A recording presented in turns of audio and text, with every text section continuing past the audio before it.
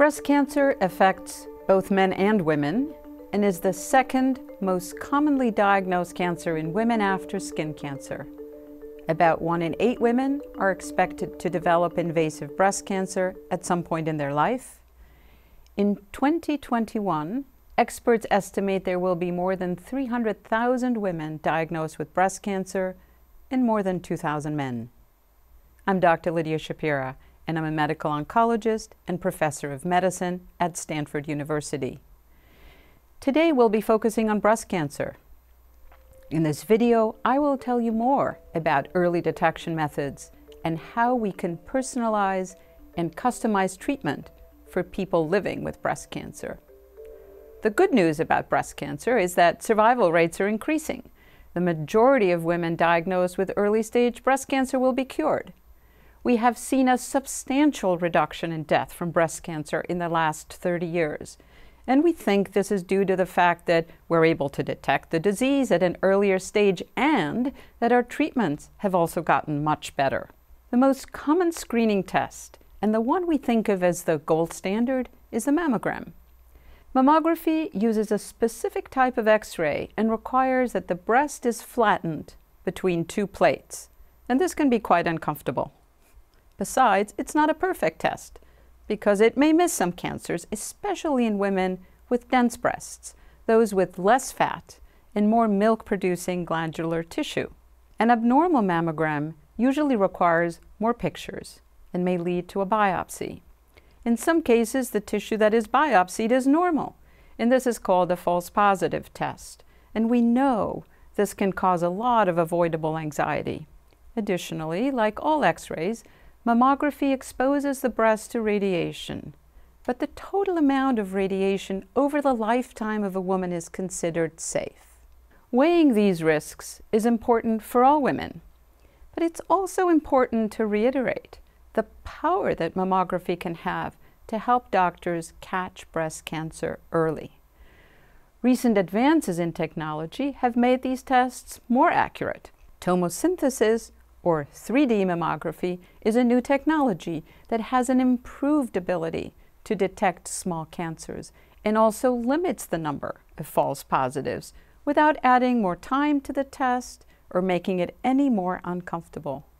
The American College of Radiology and the Society of Breast Imaging recommend starting annual mammography at age 40. The American Cancer Society recommends that women ages 45 to 54 receive mammography every year, and that women 55 and older have mammograms taken every two years or continue with yearly screening if they so wish. You see, there is some variation in the recommendation from different professional groups about when to start and how often to have the test. There are currently no guidelines for women over the age of 74, and that means that we don't really know when to stop screening. Ultimately, the decision about when to start screening and how often to do these tests will be specific to every woman and the advice they receive from their doctor. For women at higher risk of breast cancer, perhaps because of a family history or a genetic susceptibility, screening may be recommended at an earlier age and at more frequent intervals.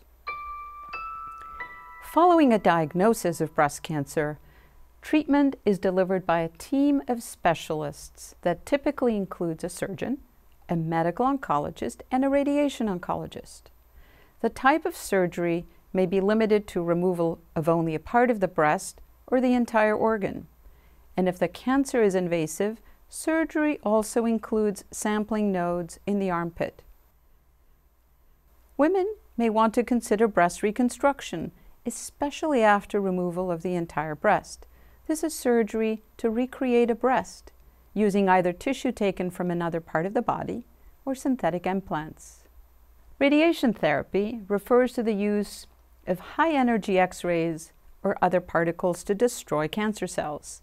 In treating breast cancer, radiation is typically delivered using a beam that is outside the body and directed at the breast, either the entire organ or the part that was affected by cancer. Radiation therapy is delivered in small installments given five days a week, most often given in three to six weeks.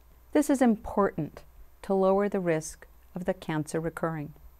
Systemic therapy is the use of medication to get rid of cancer cells and is taken by mouth or by vein under the direction of a doctor who specializes in cancer medicine, and that is a medical oncologist. The particular type of systemic therapy that is prescribed depends on many characteristics of both the person with the cancer, for example, their age and their individual preferences, and the cancer itself. In some cases, the treatment is delivered before surgery, and more often it is given after surgery with the intention of reducing the risk of a cancer recurrence. For breast cancers that express receptors for the female hormones estrogen or progesterone, hormonal therapies are the cornerstone of what is called adjuvant therapy. That is because medications that block the use of estrogen or reduce the amount available in the body are very effective in stopping cancer cells from growing. Chemotherapy is the name given to drugs used to destroy cancer cells and is also used in the treatment of breast cancer but not every person needs chemotherapy.